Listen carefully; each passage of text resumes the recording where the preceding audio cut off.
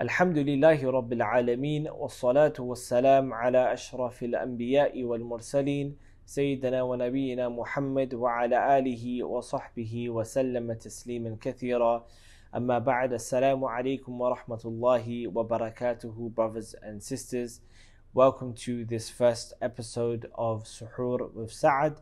This is Suhoor time and I am your brother Sa'ad.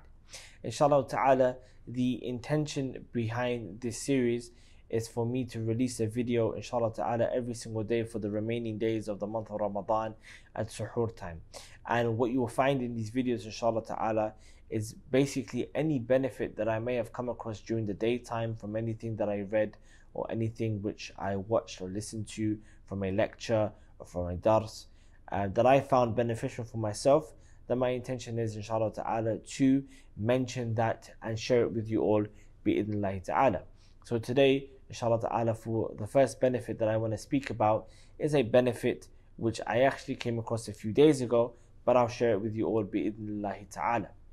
It is regarding an ayah in the Quran, specifically in Surah Al-Furqan, and it's near the end passage of the surah, uh, where Allah subhanahu wa ta'ala, He basically begins to um, praise himself. Okay, he praises himself and he mentions some of the actions that he's done. And so he subhanahu wa ta'ala he says, وهو الذي جعل الليل والنهار خلفة لمن أراد أن يذكر أو أراد شكورا. This ayah is very profound and inshallah ta'ala there are many benefits that we can take for it, specifically applying it to the month of Ramadan, inshallah ta'ala. What is the meaning of this ayah? Allah subhanahu wa ta'ala, He says, وَهُوَ الَّذِي He said He is the one, referring to Him subhanahu wa ta'ala, that He subhanahu wa ta'ala is the one who جَعَلَ He made. What did Allah subhanahu wa ta'ala make? He made اللَّيْلَ وَالنَّهَارَ خِلْفَةً He made the night and the day خِلْفَةً خِلْفَةً What is the meaning of the word خِلْفَةً? What does that mean? When I looked at this ayah, um, and, we, and I looked at it in the tafsir of Ibn Kathir, rahmatullahi alayh, and he mentions the word khilfatan and what it means regarding the night and the day. And he says that it is basically, he said, what he said, إذا ذهب هذا جاء هذا وإذا جاء هذا ذهب ذاك.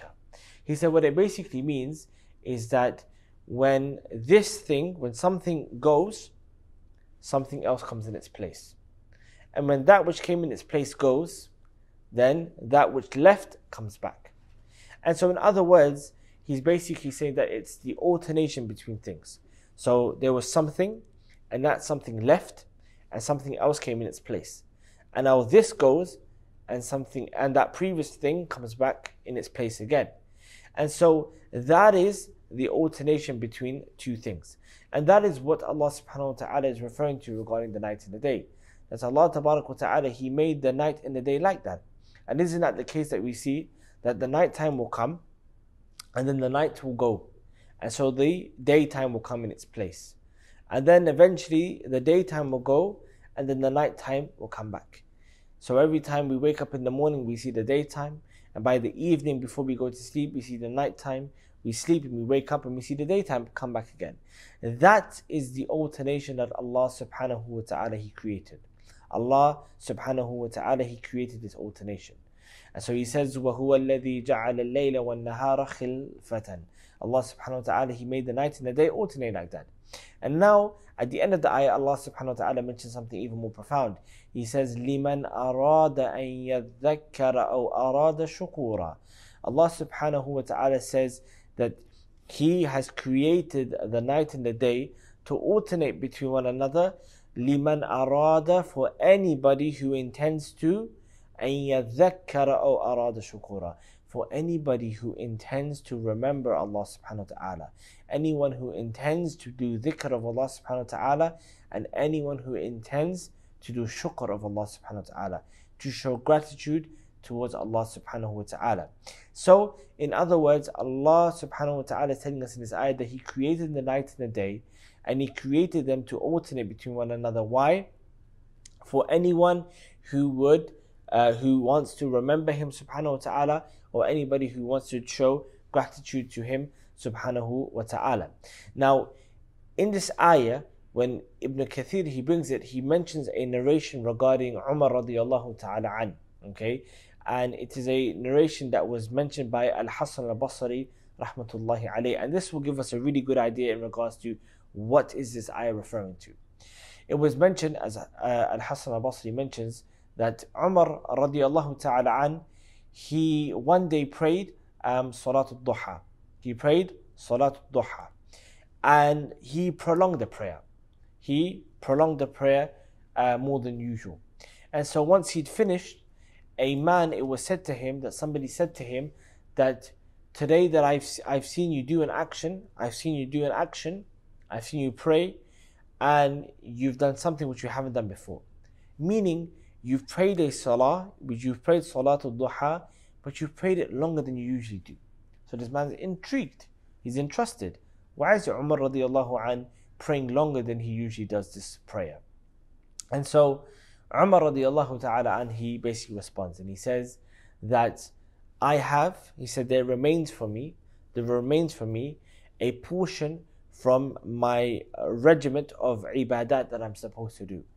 Umar says that there is ibadat that I'm supposed to do, right, on a daily basis. And there's a portion that remains from it. And he said that I wanted to complete that portion. I wanted to complete it. I didn't feel comfortable that it wasn't complete. And so I prolonged my salah. I prolonged my prayer. And then he recited this ayah. He says, وَهُوَ الَّذِي جَعَلَ اللَّيْلَ وَالنَّهَارَ خِلْفَةً لِمَنْ أَرَادَ أَن يَذَّكَّرَ أَوْ أَرَادَ شُكُورًا In other words, what we're learning from the actions of Umar radiallahu ta'ala an is that he has a portion of ibadat that he wants to do on a daily basis.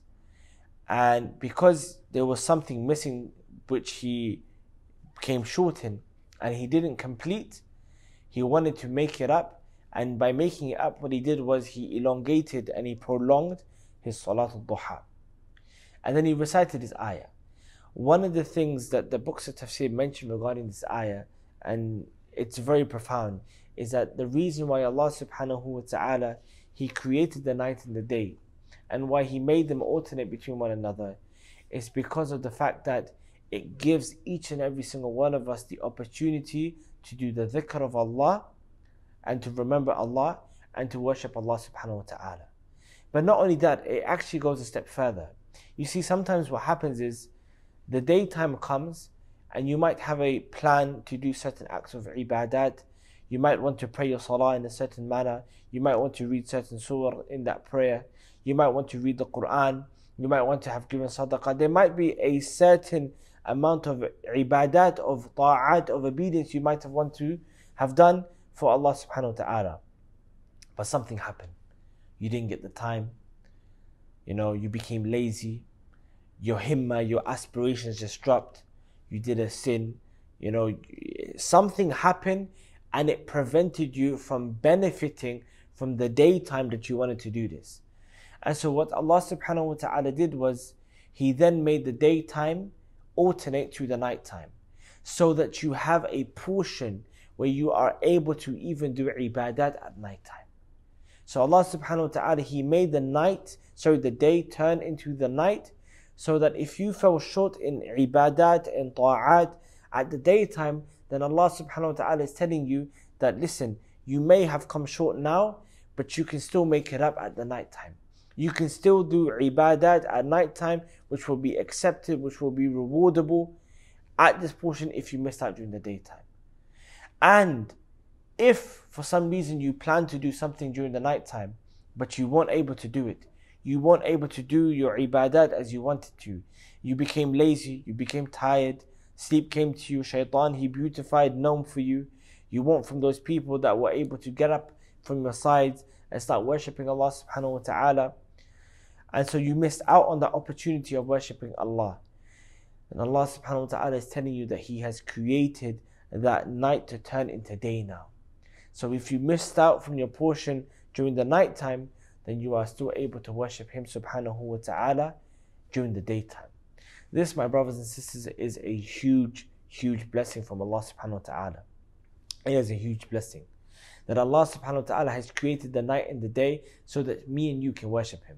And so if sometimes we end up falling short during the daytime, then Allah created the nighttime so we can still worship Him.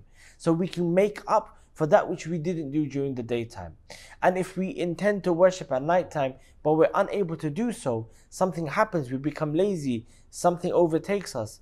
And Allah Ta'ala, He blessed us and He honored us and He favored us and He gave us the daytime so that we can still make up for the worship that we were unable to do during the nighttime.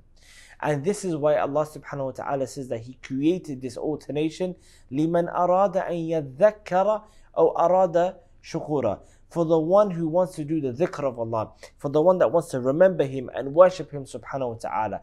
And secondly, for the one that wants to do shukr. Because this is a ni'mah from Allah subhanahu wa ta'ala. This is a blessing that you are able to benefit from and you're able to worship Allah subhanahu wa ta'ala during the daytime, during the nighttime. There is not a time during the day or during the night where you are unable to remember Him subhanahu wa ta'ala. Allah opened that door and He didn't restrict it for you at just one particular time. And that's why Shaykh Abdul Rahman ibn Nasir al-Sa'di, he mentions in his famous uh, poetry, Manhaj al-Haq, he says, وَكُنْ ذَاكِرًا لِلَّهِ فِي كُلِّ حَالَةٍ فَلَيْسَ لِذِكْرِ اللَّهِ وَقْتٌ مُقَيَّدُ He says, be a person who remembers Allah subhanahu wa ta'ala in every situation, at all times because the dhikr of Allah subhanahu wa ta'ala does not have a waqtun muqayyadu. It does not have a restricted time. It does not have a restricted time. You can remember Allah during the daytime, you can remember Allah subhanahu wa ta'ala during the nighttime. This is something that Allah subhanahu wa ta'ala has opened the doors for us. My brothers and sisters, how can we apply this in the month of Ramadan? My brothers and sisters, we plan to do ibadat during the daytime and during the nighttime the month of Ramadan is when we all plan, we make a list of uh, ibadah that we want to do, and we want to make use of this time. But what happens? The daytime comes, and you realize, I didn't read the portion of the Quran that I wanted to. I didn't do the dhikr that I wanted to. I didn't do the rawatib al that I wanted to. It's okay. Of course, it's not okay in the sense where you should have made the most of your time. But it's not to say that you won't get another opportunity to worship Allah. Allah subhanahu wa ta'ala says that if you're unable to do that which you wanted to do during the daytime, then my brothers and sisters, you can make it up at night time. You can make it up at night time and you can worship Allah subhanahu wa ta'ala. And why is it even more powerful in the month of Ramadan is that your deeds and your good actions are multiplied in this beautiful month. Eh, they are multiplied in this blessed month. And so, if a person is feeling lazy and you feel down and you feel that you may have missed out on doing ibadah during the daytime or during the nighttime, then remember the opportunity for you to continue will come as the day and the night they alternate between one another. And we should be people, we should be Muslims that strive to take opportunity from this change of time. As the day comes, we strive to fulfill our ibadah during that time. And when the night time comes, we strive to fulfill that and we strive to benefit from it as much as possible. Especially right now, as you're watching this video, it's suhoor time. The time for qiyam is still there. If you haven't prayed your qiyam, then the portion is still there for you to be able to pray. And then Allah subhanahu wa ta'ala has multiplied the reward for you if you pray at this time in this particular month. As you know from the hadith of the Prophet sallallahu alaihi wasallam, where he said, "Man qama Ramadan Iman and ihtisaban ghufira ma taqaddama min. That anybody who stands the night in Ramadan praying with iman, with belief in Allah, and in hope of reward from Allah subhanahu wa ta'ala, then this person will get what? He will have his previous sins forgiven. And this ayah, my brothers and sisters, is very powerful for us. Allah Ta'ala, He has opened the doors of ibadah for us open the doors of us being able to worship Him subhanahu wa ta'ala. And if you miss out at one time, then know that there is another time that you can also make it as well. There's another thing that I wanted to mention regarding this. Okay, there's another benefit that we can take from this ayah, uh, inshallah ta'ala. And that is, no doubt Allah subhanahu wa ta'ala has made the night and the day alternate between one another so that we have opportunities to worship Him. But there is something else that also is very significant regarding the alternation between the night and the day. And that is, as the night and the day they alternate, my brothers and sisters, that means days are going by. That means that night which just left you, which you didn't worship Allah subhanahu wa ta'ala in, It's gone now. It's gone. And that day, time that just came, and you didn't worship Allah subhanahu wa ta'ala, that day has now become night and it's gone. It will never come to you again. My brothers and sisters, take heed of the fact that yes, we might have only been in the first three days of Ramadan, but these are the first three days of Ramadan in this year that you'll never ever see again. You'll never ever see again. This alternation of the night and the day is a reminder for us that the time is going. Time is going. And it tells us that the opportunity that you have to worship Allah subhanahu wa ta'ala, it's going. And if you don't make the most of it now, then you're going to regret it in the future. You're going to regret it later on. How many of us we come to Eid, the day of celebration, the day in which we celebrate the good ibadah that we're supposed to have done in the month of Ramadan, but many of us are just sad. Many of us are just upset because it hits us that subhanAllah, I didn't do anything this month. I didn't do anything. I've got no reason to be happy. The month of Ramadan came and I didn't benefit from it as I should have. And so let this be a lesson for each and every single one of us that days are going by. And these three days, they're, they're, they're gone, my brothers and sisters. These three days and these three nights, they're gone and you're never going to see them again. Don't miss the opportunity of the next upcoming days of the month of Ramadan and make sure that you benefit from them as much as possible. And the last thing that I want to mention, inshallah ta'ala, is if you become a person, if you become a person who takes opportunity of the alternation of the night and the day, and you use the night and the day to worship Allah subhanahu wa ta'ala, whether you're standing, whether you're sitting, whether you're lying down, but you remember Him and you do ibadah and you do shukr towards Allah subhanahu wa ta'ala, you show gratitude to Him subhanahu wa ta'ala regarding the blessing that He's given you, then inshallah ta'ala you will be from those that Allah subhanahu wa ta'ala mentioned in the following ayah where He said, إِنَّ فِي خَلْقِ السَّمَاوَاتِ وَالْأَرْضِ وَاخْتِلَافِ اللَّيْلِ وَالنَّهَارِ لَآيَاتٍ لِأُولِي الْأَلْبَابِ Allah subhanahu wa ta'ala mentions that verily in the creation of the heavens and the earth and in the alternation of the night and the day, the alternation of the night and the day, in it are signs for ulil albab, for the people of intellect, the people who are smart. And who are these smart people? Who are they? What are their characteristics? Allah subhanahu wa ta'ala, He mentions in the following ayah. He says they are الذين يذكرون الله قياما وقعودا وعلى جنوبهم. Allah subhanahu wa ta'ala said that they are those who remember Allah subhanahu wa ta'ala. They remember Him قياما when they're standing. They're standing and they're worshipping Allah subhanahu wa ta'ala. They're in the dhikr of Allah, they're remembering Allah wa ta'ala. وَقُعُودًا when they're sitting down. They might be sitting down, but they're still remembering Allah subhanahu wa ta'ala. And then finally, وَعَلَى جُنُوبِهِمْ They might be lying down, tired, about to go to bed. وَعَلَى جُنُوبِهِمْ They're still remembering Allah subhanahu wa ta'ala. If you become from those that take opportunity of the night and the day, then inshallah ta'ala, we ask Allah subhanahu wa ta'ala to make you from ulil albab, from the people who are smart and they benefited from the alternation from the night and the day. Anything which I said which was wrong or incorrect is from me and shaitan, and Allah and His Messenger are free from it. I ask Allah subhanahu wa ta'ala to allow us to benefit from the night and the day and from to make us from those people that do the dhikr of Allah, meaning they worship Allah subhanahu wa ta'ala and they are grateful to Allah subhanahu wa ta'ala for being able to be given the opportunity of the night and day and being able to worship during these times. Inshallah ta'ala, I'll see you all in the next episode of Suhoor with Sa'ad. Barakallahu feekum wa jazakum Allahu khaira. Wassalamu alaikum wa rahmatullahi wa barakatuhu.